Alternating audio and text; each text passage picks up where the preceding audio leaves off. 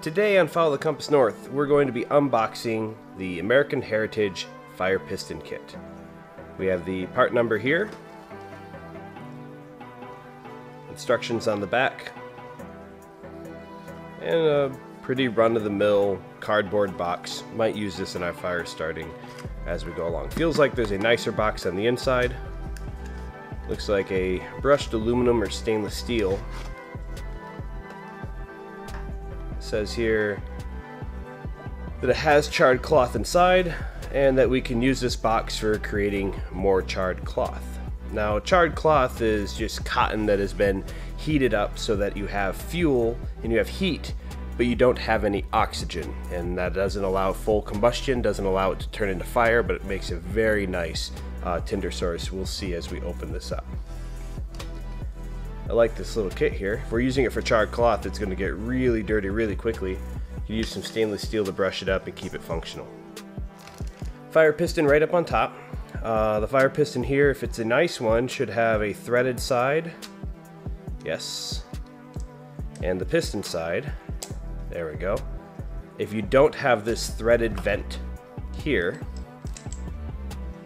you'll have a hard time storing this in your pack or in this in your fire kit because as you compress it, a good fire piston should rebound. And that's a really good sign for us. Looks like it's got two O-rings, which is nice. Brass construction, aluminum milled body, and a nice little setup. Hold it for a bit longer, see if it leaks any air. Seems to be pretty good. I like that. If we get a little bit of silicone grease on there, lube that up a little bit, that'll help us out. Let's see what else we have here in the kit. Uh, first thing I see here is jute.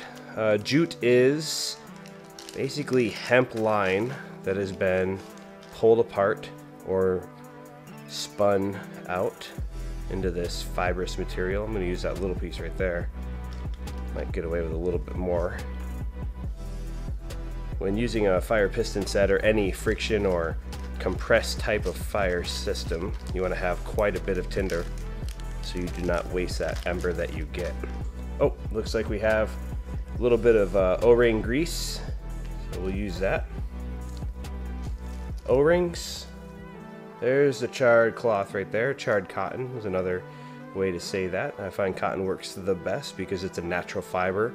You heat it up you don't let out oxygen in there so it doesn't combust and you get this very fragile but very combustible tinder. I don't want to open this yet because it'll start absorbing moisture. In fact, the jute is probably absorbing moisture already. We're a little more forgiving with our secondary tinder though than we are with our primary tinder. It's like a just standard lanyard, 550 cord. There's a marker line the red line in the 550 there tells me that this is high quality. That's a quality control or a manufacturer uh, or maker's mark line. That'll tell you who makes it, uh, when it was made, maybe even a lot number on the nicer quality. Uh, if you don't see that other colored inner core line, you might be dealing with an off-brand or a cheaper 550 or paracord. This looks to be like really nice stuff. And I think the rest is just more cotton or woven fiber. Looks like it's a tight weave cotton uh, almost like a burlap. That's really nice because what we're going to do here is we're going to take this, maybe put some more in there, close it up as tight as we can, throw this in the base of a moderate fire, let it heat up, char the rest of that cotton, and give us this awesome tinder to use in the future. Might even be able to resurrect this with a little bit of uh, steel wool and use it for future uses as well. Set that off to the side. Now I'll start off by saying that the fire piston is not a great way of making a fire. It is a cool way of making a fire, and we'll be using it today by the end of this video to get flames.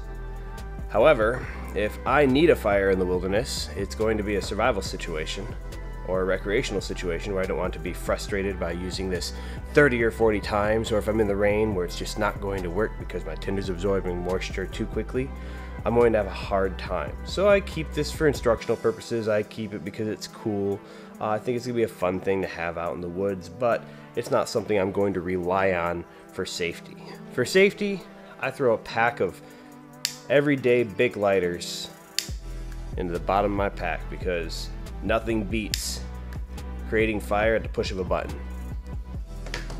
That being said, we're going to be time lapsing the middle of this video because when I'm compressing this and trying to create that ember, uh, it's going to take some time. It's going to uh, probably take 30 or 40 attempts just to warm up the tinder and get a good uh, ember. If we get it sooner than that, then we're, we're having a good day. Place that right here. Gonna get a little bit of this charred cotton, charred cloth, depending on who you're talking to. We're going to place a section of this into my nest to expand my initial ember or coal, depending again on who you talk to. Put the rest away pretty quickly so it doesn't absorb that moisture. And then the end takes only the tiniest piece. Yeah, quarter inch by quarter inch piece. And you don't want to jam it in there, make it complicated. Just something very, very light. And then we're going to place this in with one O, one O-ring we're going to put it vertical like this and then slam down. Check for ember. Unlikely to get it on the first few tries. So we're going to go ahead and time lapse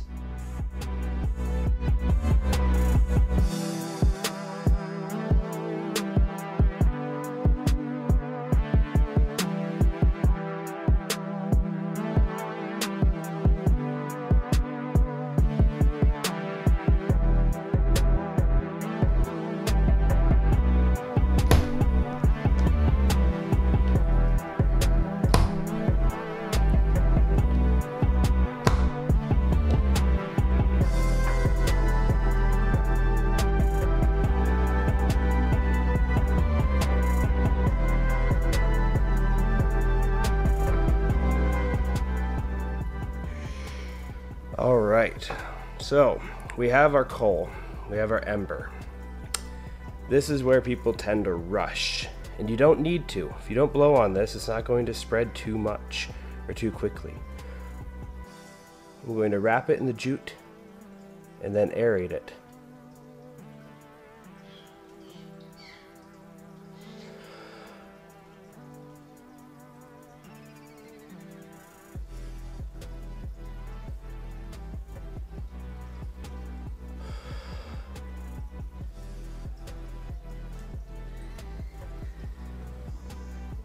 There you have it.